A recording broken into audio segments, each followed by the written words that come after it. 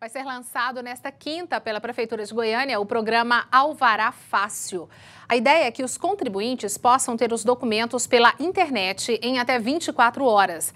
Na primeira fase, o Alvará Fácil vai valer para habitações unifamiliares, geminadas ou seriadas, até quatro edificações. Atualmente, a média é de até seis meses para liberar os documentos de uma obra. A medida ainda traz ganho de tempo, já que o procedimento pode ser feito todo pela internet.